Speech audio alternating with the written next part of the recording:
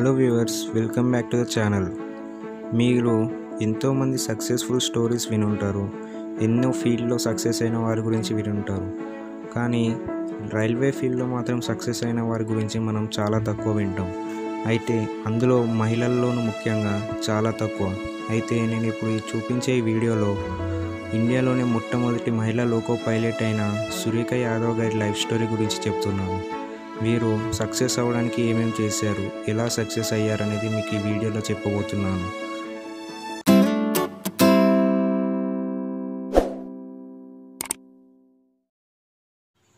ఇండియాలోని మొట్టమొదటిలో మహిళా loco pilot అయిన సురేఖ యాదవ్ గారు మహారాష్ట్రలోని సతారా అనే జిల్లాలో సెప్టెంబర్ రెండు పంతొమ్మిది వందల అరవై ఐదులో సోనాబాయ్ మరియు రామచంద్ర భోసాలేకి జన్మించారు. వీరి నాన్న ఒక సాధారణమైన రైతు. సురేఖ గారు వీరికి పెద్ద కుమార్తె. ఈవిడ సతారాలో ఉన్న సెయింట్ పాల్ కన్వెంట్ హై స్కూల్లో తన స్కూలింగ్ కంప్లీట్ చేసుకుంది. తన స్కూలింగ్ తర్వాత సతారా డిస్టిక్లోని ఖరోద్ ప్రాంతంలో గవర్నమెంట్ పాలిటెక్నిక్ కాలేజ్లో డిప్లొమాలోని ఎలక్ట్రికల్ ఇంజనీరింగ్ పూర్తి చేసుకుంది. తన కాలేజ్ స్టడీస్ని కొనసాగించాలనుకుంది. ఎందుకంటే bachelor of science in mathematics ఇంకా బ్యాచిలర్ ఆఫ్ ఎడ్యుకేషన్ పట్టా పొందుకొని టీచర్ అవుదాం అనుకుంది. కానీ రైల్వేలో వచ్చిన ఒక జాబ్ ఆపర్చునిటీ తన చదువుకి ఫుల్ స్టాప్ పెట్టింది. పంతొమ్మిది వందల ఎనభై ఆరులో కళ్యాణ్ ట్రైనింగ్ స్కూల్లో ఆరు నెలల శిక్షణ తీసుకుంది. పంతొమ్మిది వందల ఎనభై ఏడులో రైల్వే రిక్రూట్మెంట్ బోర్డుతో ఇంటర్వ్యూ అయ్యింది. దాని తర్వాత పంతొమ్మిది వందల ఎనభై తొమ్మిదిలో రెగ్యులర్ అసిస్టెంట్ డ్రైవర్ అయ్యింది.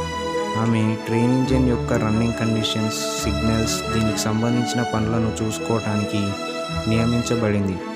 పంతొమ్మిది వందల తొంభైలో శంకర్ యాదవ్ అనే వ్యక్తితో వివాహం జరిపించబడింది. ఈయన గవర్నమెంట్ ఆఫ్ మహారాష్ట్రలో ఇన్స్పెక్టర్గా పోలీస్ ఇన్స్పెక్టర్గా పనిచేస్తుండేవారు. వీరికి ఇద్దరు కుమారులు కూడా ఉన్నారు. తన భర్త తనను ఎప్పుడూ సపోర్ట్ చేసేవారని ఒకసారి పేర్కొంది.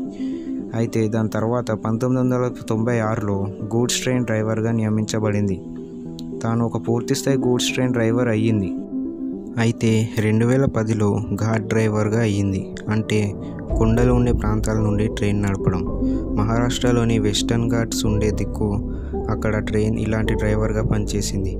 తర్వాత ట్విన్ ఇంజన్ ప్యాసింజర్ ట్రైన్ నడపడానికి ప్రత్యేకమైన ట్రైనింగ్ తీసుకుంది. ఒకనొక సందర్భంలో ఇలా చెప్పింది.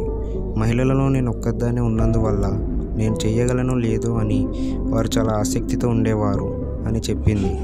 అయితే రెండు వేల సంవత్సరంలో తాను మోటార్ ఉమెన్గా ప్రమోట్ చేయబడింది.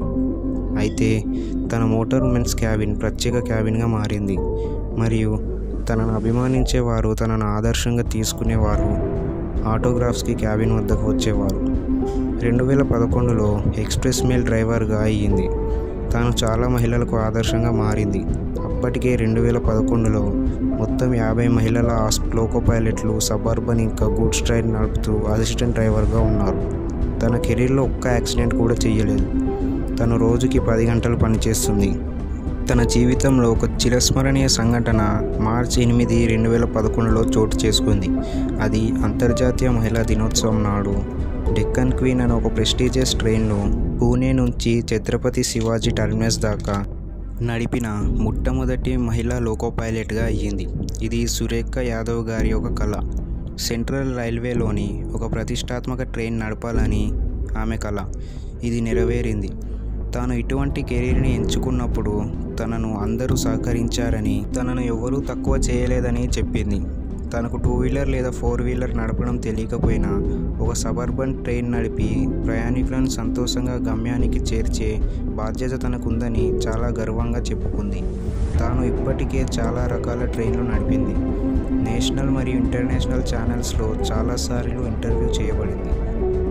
ఇలా తన జీవితాన్ని ఎంతోమందికి ఆదర్శంగా చూపిస్తూ ముఖ్యంగా మహిళలకు తను ఆదర్శంగా నిలుస్తూ అందరినీ ముందుకు నడిపిస్తూ వచ్చింది. మరి ఇలాంటి మహిళలకు మహిళకు ఎన్నో అవార్డులు పురస్కారాలు కూడా వచ్చాయి. పంతొమ్మిది వందల తొంభై ఎనిమిదిలో జిజావ్ పురస్కార్ అని రెండు వేల ఒకటిలో ఉమెన్ అచీవర్స్ అవార్డు అని ఇంకా రాష్ట్రీయ మహిళా ఆయోగ్ అవార్డు అని రెండు వేల ఐదులో ప్రేరణ పురస్కార్ అని రెండు వేల పదకొండులో GM award for first lady loco pilot on Indian railways అని రెండు వేల పదమూడులో RW double C best women award of the year అని ఇలా చాలా వచ్చాయి. ప్రస్తుతం ఇప్పుడు సురేఖ గారు డ్రైవర్స్ ట్రైనింగ్ సెంటర్లో సీనియర్ ఇన్స్ట్రక్టర్గా పనిచేస్తున్నారు. సో ఇది ఇవాళ వీడియో. మీకు నచ్చింది అనుకుంటున్నాను. లైక్ చేయండి షేర్ చేయండి సబ్స్క్రైబ్ చేసి బెల్ ఐకాన్ క్లిక్ చేయండి. Thank you.